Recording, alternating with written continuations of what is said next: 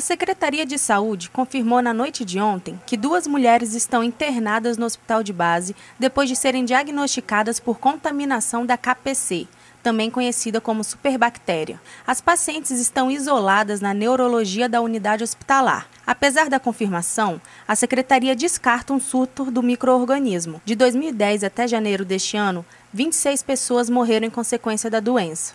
A primeira vítima infectada a ser internada no hospital de base deu entrada em 21 de novembro, a segunda no último dia 8. A transmissão do microorganismo acontece pelo contato direto entre as pessoas e também pelo uso dos mesmos objetos. A KPC é resistente aos efeitos de antibióticos e pode causar pneumonia, além de ter capacidade para desenvolver infecção gastrointestinal.